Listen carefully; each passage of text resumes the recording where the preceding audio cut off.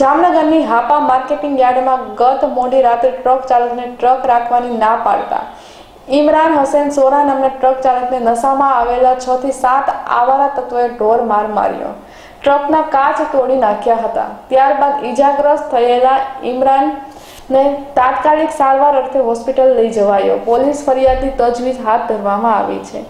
અહેવાલ પરાક્રમસિંહ રાણા, જામનગર.